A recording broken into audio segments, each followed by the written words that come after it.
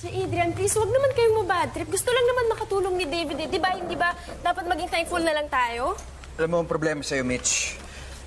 Hindi mo pa rin alam kung paano tukuyin kung maganda yung intensyon ng isang tao. Pakitaan ka lang ng konting kabutihan, naniniwala ka agad.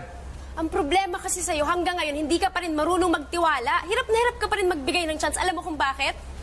Ah, Kasi hindi mo mabibigay sa iba ang hindi mo kayang ibigay sa sarili mo. Hindi mo makikita yung mabuti sa iba kung hindi mo yung makikita sa sarili mo.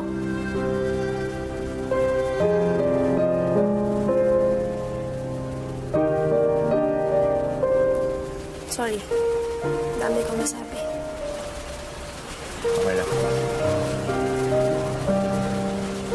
Tama naman lahat na sinabi mo. I'm sorry.